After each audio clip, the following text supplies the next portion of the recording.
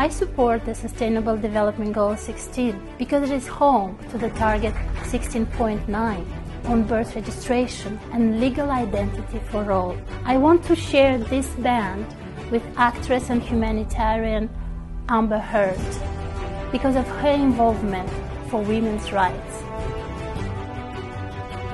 I support Goal 16. Nothing can be a more important cause. Uh, the commitment to uh, documenting every single person uh, that is alive on Earth today uh, and giving them proof of their existence. For us, it's an honour to partner with the World Identity Network and support them to spread awareness all around the world about those vulnerable people in society who don't have an identity. Join us. Be part of this movement